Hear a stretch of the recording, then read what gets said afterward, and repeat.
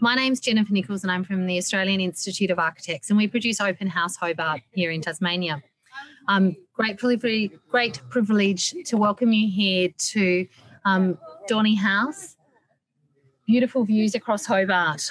Firstly, I'm proud to respectfully acknowledge the original traditional custodians of this land, the Lutruwita people, and elders past and present. Um, we're here at an Esmond Dorney house, and we're very fortunate. We've actually got his son, Paddy Dorney, here, who's going to show us through. So come with me.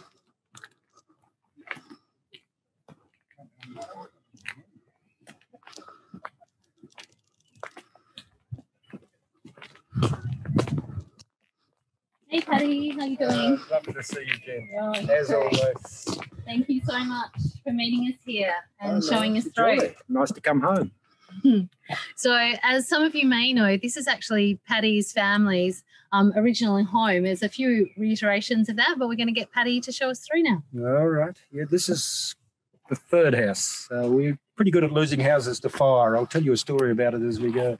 It's built on an old fort, uh, 1904, to keep the Russians out, but the Russians never came. Um, so let's call it a folly. Um, it was only once ever fired in anger. They had two big six inch guns and it was fired at the Americans. Donald Trump wasn't even president. now, underneath you'll see the bunkers. This is the big magazines uh, that used to feed the big guns. The houses are actually built on the gun emplacements, the big circular round concrete, and they made the floor of the original building, and they're still the foundation of the original building. Because Esmond always respects the past. It's not something you remove, and you'll find that because the stairs, one of the sets of stairs we're walking up, is from the second house, which burnt down in 1978. It survived the fire, and they're kept in the new building, even though they don't direct the new building is nothing like the old building. Uh, everything gets built. And at the height of the fire, very exciting. At the height of the fire, my mother and father. Uh, we got uh, it was a bush burning, and they were sheltering these underground bunkers that run right back under the house. You could hear the house burning over their heads. And I was away working on the west coast at the time. I finally got in touch with my mum three days later and said, "Look, you know, how's the great man? His house burns. He must be upset." She said, "At the height of the fire, when we were sheltering in the bunker in here, uh, underneath the house, and listening to it burn, he'd found a piece of paper and a pencil. He was sketching what he was going to do next." He was 72 then, you know. Always looking to the future. Yeah, I'm going to say that.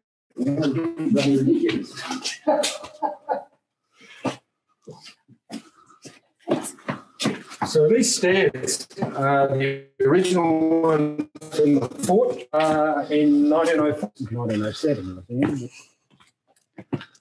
And Esmond, who was a pilot, has this flight metaphor and he uses this compression and opening. So this next set of stairs he built, this is the stairs for the second house and now the third house. And as you can see, they float. And the idea is that you're getting compression. And the metaphor is that when you're a pilot and you fly through clouds, it compresses you down and then you come out of the clouds and the world opens up to you. And Esmond plays this game in much of his architecture in compressing you on, on entrance, as Frank Lloyd Wright did. Uh, and as uh, Aalto did and whatever, they do this incredible uh, journeys that actually change the way you see before you even get in the building. So the inside and the outside are actually as important as each other. A little bit of a view here, and as you'll see when you get up into the house, there's a lot more, and it opens to you. So, and then we lose the view walking up the stairs. Here we are flying through cloud in metaphor. We're compressed again in this tiny little entrance space. And then the world opens the deeper we go into the building. Uh, this is all a sequence. Oh, we've got flares. Hello. Deep into the building. As you go further in, you'll see the view opens out. So from deep southwest and the south, Bruny Island, right up into the Central Highlands and the city uh, to the north.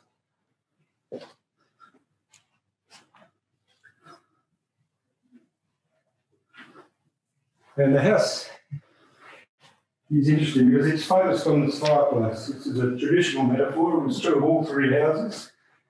Esmond probably invents the conversation pit, uh, the modern one. Um, of course, they had them in Bronze Age houses, and they actually had them in the men's houses in Malaya and Java, where he just been in the previous few years before we built the first house. A bit of cross-cultural borrowing. And the idea is that the family uh, and the community and the friends, and we had lots of visitors. We had balls here every year, lots of parties, gather about the fire uh, and share terrible stories, some of which are even true. and a lot of whiskey and a lot of beer. Uh, so it was a place for family to come together. There's a circular table in the middle, which carried food, and everyone sat around either on the seats or on the floor. Uh, at balls, we had up to 150, 200 people here uh, for a ball every year, or you can sit in here on your own. There aren't many spaces, I think, in architecture where you can be comfortable sitting in there on your own and equally comfortable with 150 people. Um, it's quite extraordinary, and it's partly because the view is actually the dominant aspect.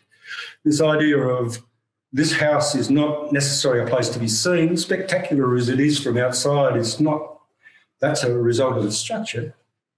It's intended to look from. It's a machine for seeing rather than a place to be seen, I think. Uh, I think this is a really strong idea. You'll find it in much of Esmond's post war architecture.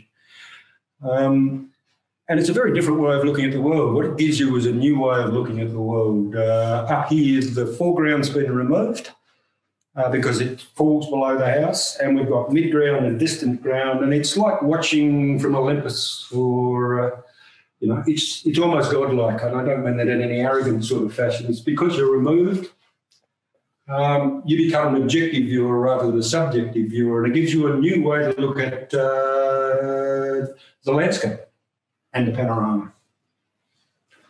And that's interesting because I think on this hill, the core, some of Dad's best friends were guys like Denny King from Bathurst Harbour and Port Davey, uh, Phil Tapping, uh, who Pierre Tapping, sorry, who was uh, head of the Hydro's exploration arm.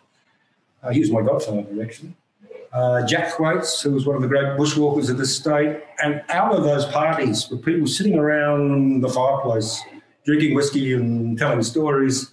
I think grew much of the Tasmanian Green movement. This is the even before the UTG formed, the world's first green political party was formed in Tasmania, and yet architecture can bring people together and give them the opportunity to change ideas. It's a lovely idea that architecture actually has a function beyond merely shelter. I don't mean merely shelter, it's a wonderful thing to have shelter. But, um, but in fact, this metaphor of the circle face around the fire, the campfire, if you like, is a coming together space for the people, as it probably was for the Aboriginal people that we've just uh, been welcoming you to their land because it was once their land.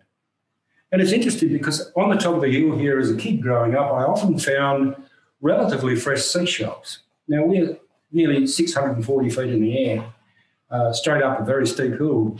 And when you think about how they got here, it was quite obvious that uh, the Aboriginal community who were here before settlement came up for the same reason we did, because the view is wonderful and they brought lunch. Um, so I think there's a strong connection to my country, which is this, where I grew up, and their country in the same way. I think it gives me some understanding of the strong Aboriginal position and their connection to land, I think. Uh, and this house is beautifully like that. As you can see, there are a series of spaces. They're separated by levels, uh, changes, largely. It's designed to have almost no furniture.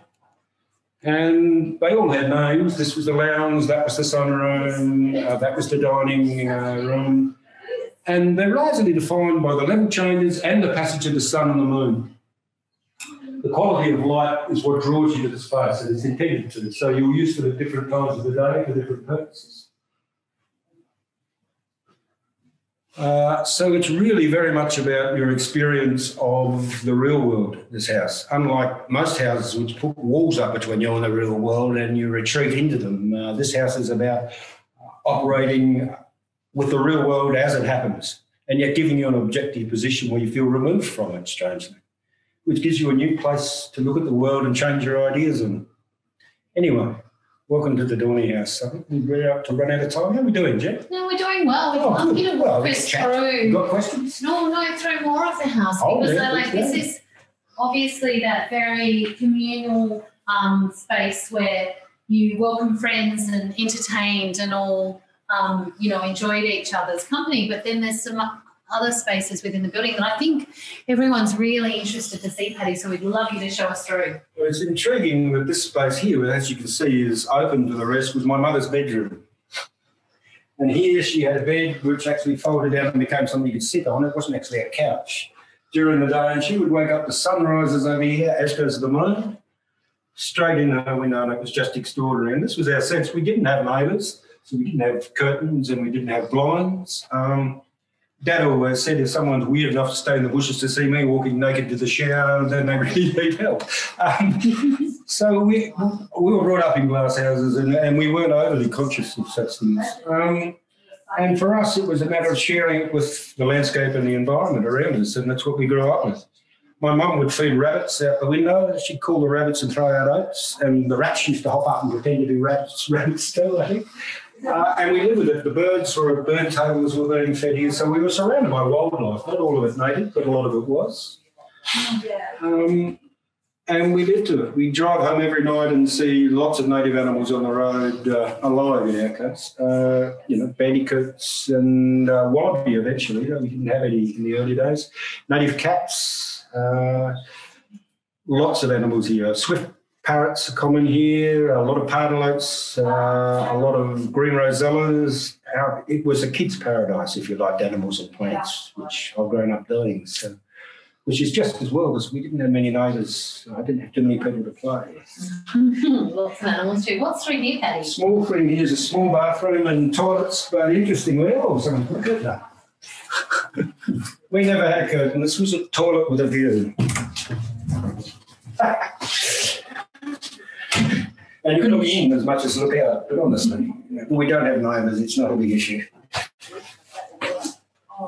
And there's some other intriguing things about the building. My father's bedroom is hidden away. He's much older by the time this is built. He's in his 70s. And he's probably needing to go, you know, the bathroom a few times a night. And he's not that comfortable with. So he's built himself his own little retreat. And when we have lots of visitors, as my mum done, she's she's quite younger than him. Uh, he likes to hide away there, so he built himself a little retreat off here. It's intriguing for one reason because we lost two houses to fire, or one by the time Dad had died, and the tram. And uh, I was overseas while this was built. I was in Central America and North Africa. And when I got in, I said to my dad, What do you reckon about this one, Dad? He says, I'll tell you one thing, son. He says, This bastard won't burn. but here's the secret when he built his own, um, I think we might oh, we'll go this way. It's a bit difficult. Can you manage that? He hides himself away in this little retreat when we have visitors. This is Dad's bedroom. Now, the whole house is fireproof. It's steel, it's concrete, it's glass, nothing to burn. The ceilings are actually steel, a little bit of plywood paneling, which is beautiful. And this, if you look at the windows, timber frame. He just couldn't, in his own space, bring himself to do everything, fireproof and whatever, because he loved timber. And so his own space, this is the only timber frame windows in the building. Uh, mm-hmm. That's how much he cared for timber. You can see it inside with the panelling, the plywood panelling. It has perfect acoustics. In the second house we had here, we used to have a quadraphonic sound system. Uh, we've got a concert tonight. We've done a number of concerts here. You may have seen the opening one for Open House this year and it has almost perfect acoustics. You can perform in here without any amplification. It's quite extraordinary. Dark again.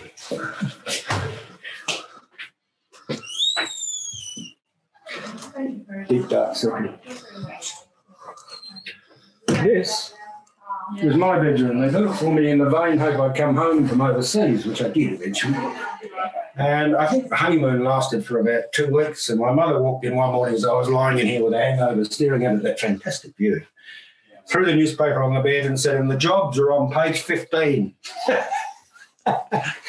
so I wasn't here that long, but uh, it's a very special place to wake up, as you can see. There's extraordinary view, and that's all parkland. It's not going to get built out.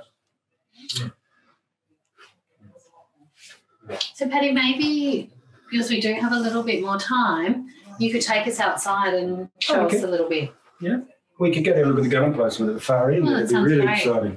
Beautiful. because that explains them all. Why, why we have a secular house.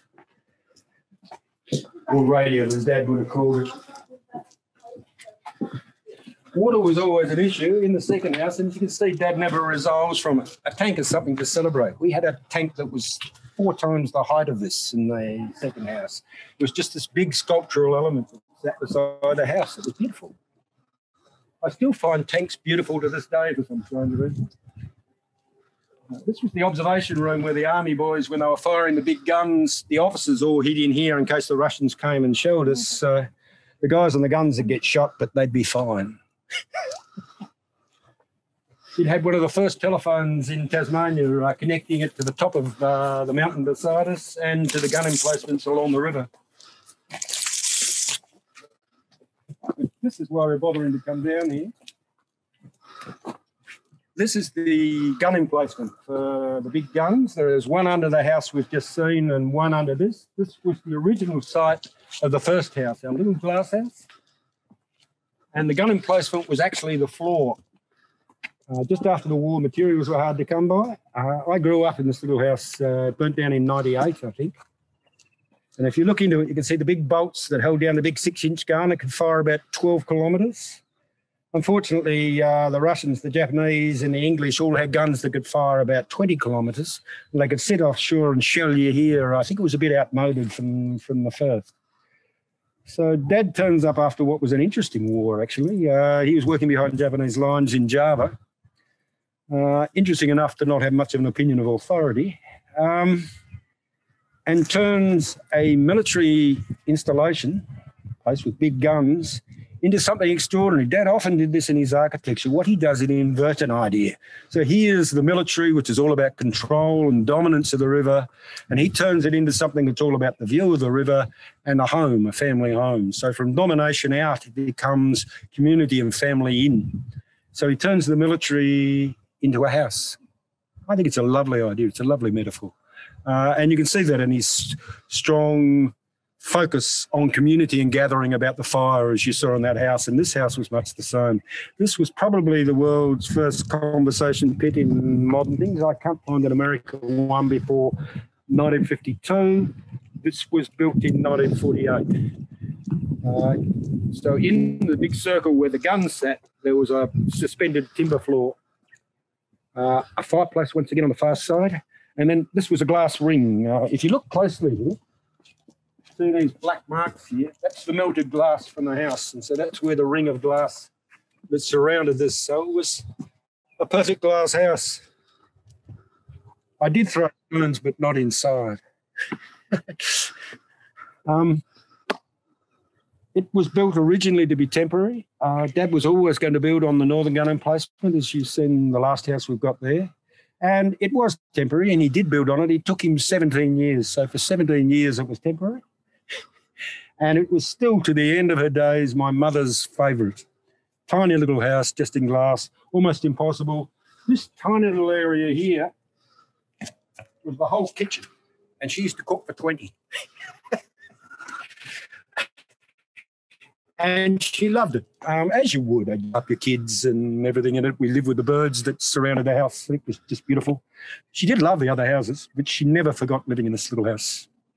So it worked for us. I did have a woman when she was visiting uh, a year or two ago come up to me in the other house and say, "Look, Paddy, the house is lovely." I said, "But I could never live here." It's before I'd moved out, uh, and I looked at her. I said, "But you don't, I do." And I think there's the point. These houses were built for us specifically. It wasn't built for anybody else. What is delightful is that other people enjoy being here too. And it's very nice to share it with you. Yeah, thank you, Paddy. It'd be really nice to go and see around just around this front side of the house if you've got a moment. Yeah. Sure. So I find that really interesting, Paddy, because you're talking about that basically your family were the client and this was built for your needs Yes. specifically and that's very much what that experience of um, working with an architect is about is about having your needs met it might not be for everyone um, but also that people can come here and absolutely enjoy this as a piece of architecture so um, which is wonderful and for us it's such a you know honor um, and a treat to be able to show it I uh, I think that's a really interesting question because I think good architecture serves your needs and does it beautifully. It enhances your life. That's what good and that's what all good architects can do. We do have honestly that in the intention of most architects is to increase the quality of people's lives. What does great architecture do? Uh, and there's a real question because I think undoubtedly this is, you know, it, it doesn't age. Uh, people are still coming to see it uh, all these years later. Uh, I think great architecture A enhances your life as good architecture does, but B leaves you with questions. And I think that's what people enjoy so much when they come in. Apart from the beautiful views and the extraordinary things, it actually asks you questions. It says, what is a city? Because you look out on the city as if you're an, observer, an objective observer uh, looking from, from the gods, from the heights. Um, and if it leaves you with questions, it's like great art. Great art leaves you with questions too. You know, what is Picasso trying to get over here? And I think the fact that at first glance, people seem to in, empathise with this building, but they don't always totally understand it. And ask questions. Buildings that ask questions never get boring. And I also think that the stories, you know, and uh, this is like this beautiful opportunity for someone to understand the building. It's having you show us through it. It's hearing the stories about your father and your family um, that give us a, that sort of deeper connection or understanding to the to the building and, and the architect and his Yeah. process. Yeah, he did some interesting things up here. We